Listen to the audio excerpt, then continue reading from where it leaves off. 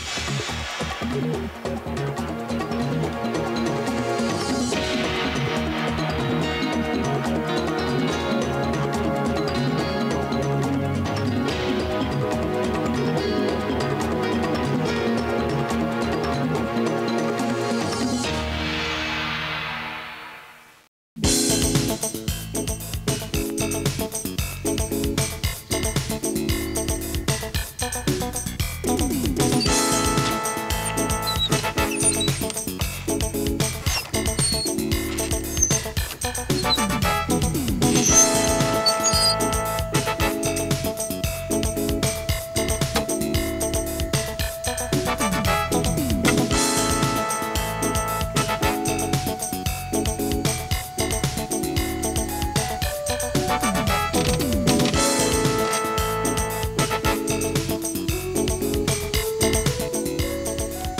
A Magyar tengeren, a Balatonon fogunk horgászni.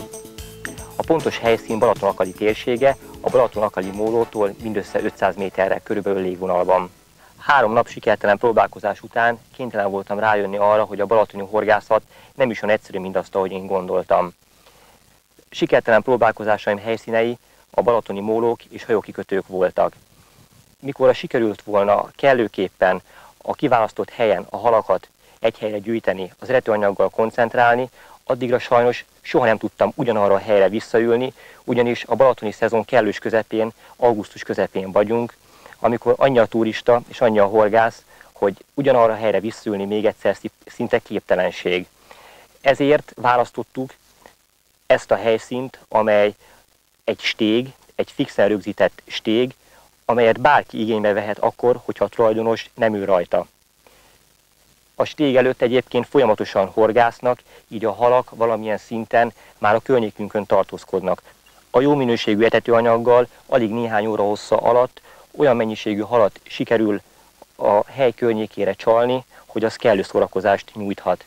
És hogyha sikerül megegyezni a hely tulajdonosával, akkor ide bármikor visszaülhetek. A módszer, amelyet most be fogok mutatni, az a féderbotos horgászmódszer lesz.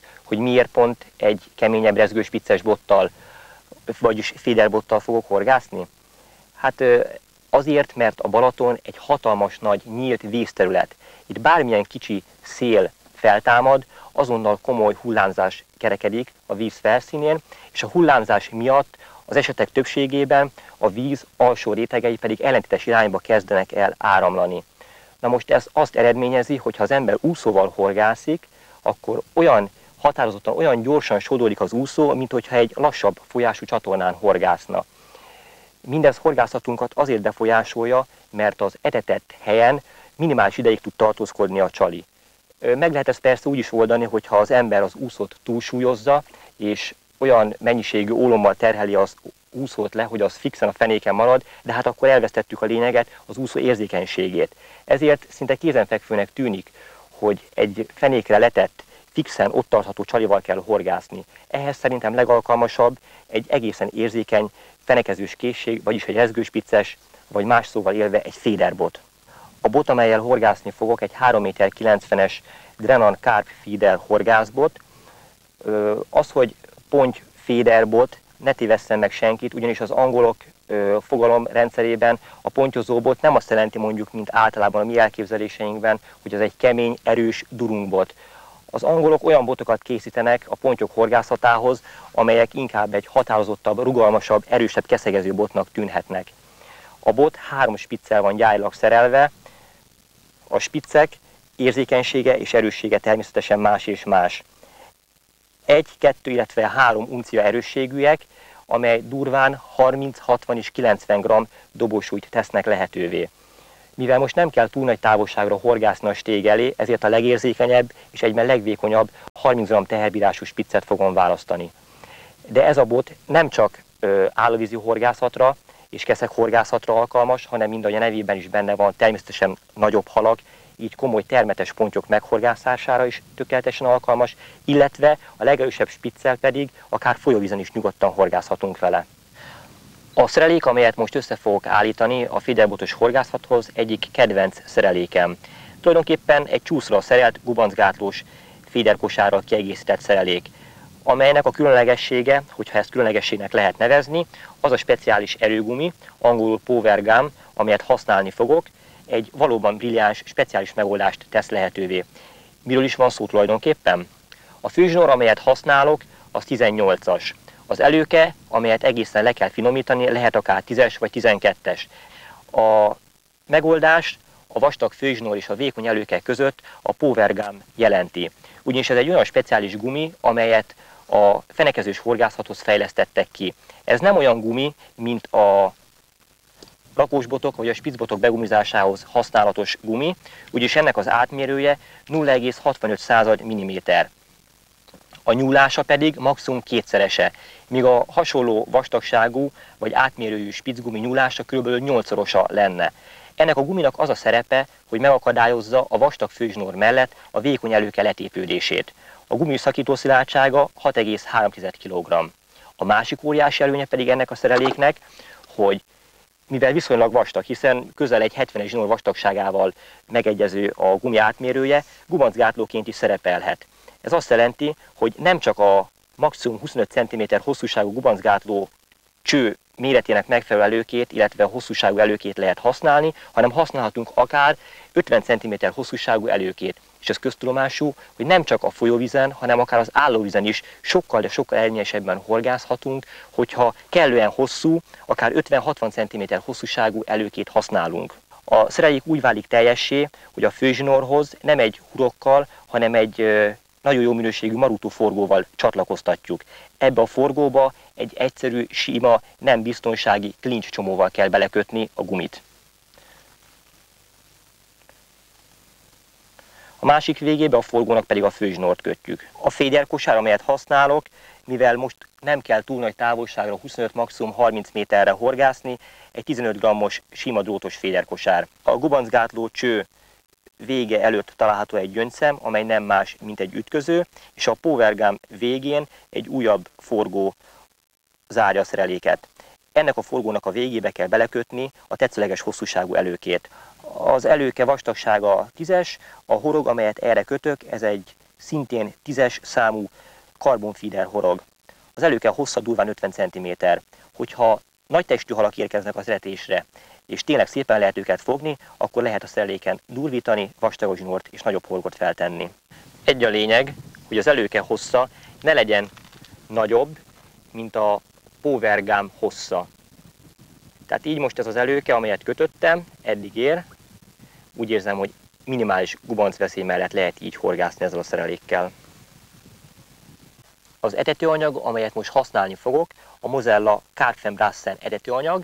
Ez egy darabos, viszonylag durva szemcsézetű, de nagyon könnyen a kosárból kivoldódó etetőanyag, amely nem csak a féderbotos horgászmódszernél, hanem a hagyományos eredőkorosaras horgászmódszernél is tökéletesen használható. Elképesztően jó mogyoró illata van neki, amely különösen a fehér halakat és a pontyot rendkívül csábítja. Hát reméljük, hogy így is lesz. Ebből összesen egy 3 kg kell, hogy bekeverjünk. Azért kell ez a mennyiség, mert kosárral ennyit bedobni persze nem lehet egy átlános 3-4 oroszlás horgászat alatt, de mindenféleképpen a hatás fokozható, hogyha a horgászat megkezdése előtt, vagy miután a halak már a horgászfűnkre beálltak, néhány gombócot csúszóval rálövünk. 3 kg 100 anyaghoz javaslok kb. két marék, az mindösszesen egy olyan 10, maximum 20 dekagram angol morzsát az eretőanyagba beletenni. Az angol morzsának az a jelentősége, hogy az eretőanyag szétoldódását, szétbomlását meggyorsítja ugyanis mind a hagyományos etetőkosaras, mind pedig a kosaras horgászmódszernél csak akkor érjük el célunkat, csak akkor fogunk kellő gyorsasággal halat, ha az a kosárból szét is oldódik. Persze nem azonnal a vizetérés után, de egy folyamatos lassú oldódással elérhetjük azt, hogy a halak meglepően hamar az kerülnek.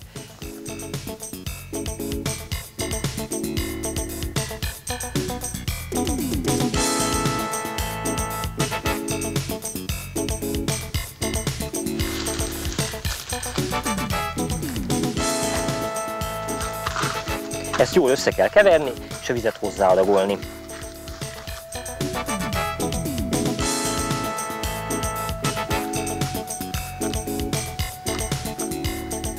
Az eredetanyag bekeverése úgy válik teljessé, hogy teszek hozzá kevéske főt buzát, szemes takarmányként.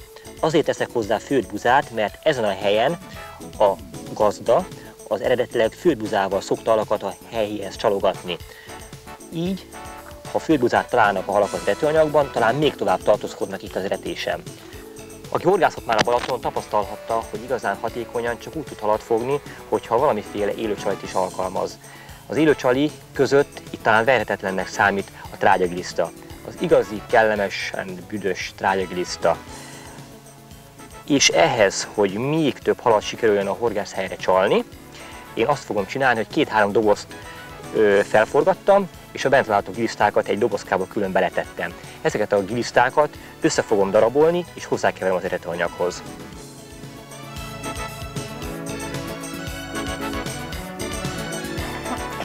Ezt a kellemes élőanyagmasszát kell még az eredetőanyagba belekeverni.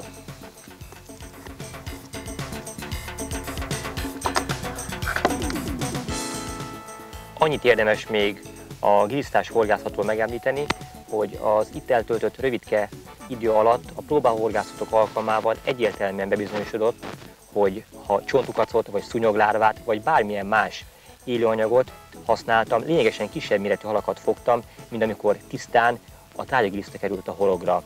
A balatoni dévérnek úgy néz ki ez a kedvenc csemegéje, és enélkül a balatoni dévérkeszek horgászat elképzelhetetlen.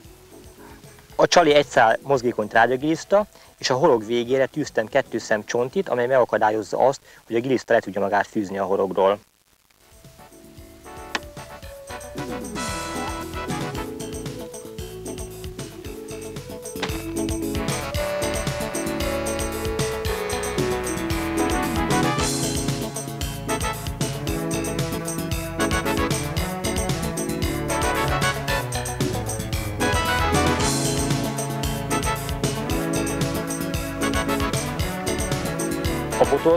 Stéggel majdnem párhuzamosan kell elhelyezni. Az a lényeg, hogy a zsinór és a bot által bezárt szög közel 90 fokos legyen, mert itt ugye kapásjelző nélkül a bot spiccéről érzékeljük a kapást.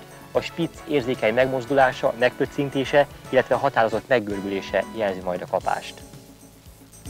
Olyan mennyiségű hal azért nem hemzseg itt a környéken, hogy az első bedobás után azonnal kapásom legyen, ezért természetesen mindenféleképpen be kell etetni 20-30 tojásnyi nagyságú gombócot lövögve megközelítőleg egy adott helyre.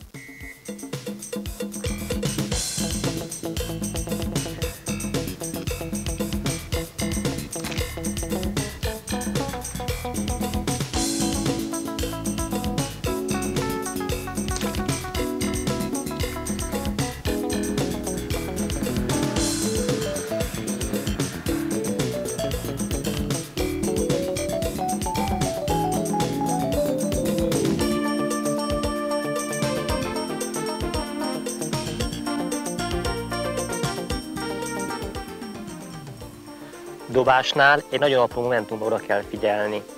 A vizetérés előtti utolsó pillanatban az orsó dobján lévő zsinort a kezünkkel enyhén fékezzük meg, így az előke kinyújtózkodva gubanzmentesen ér vizet.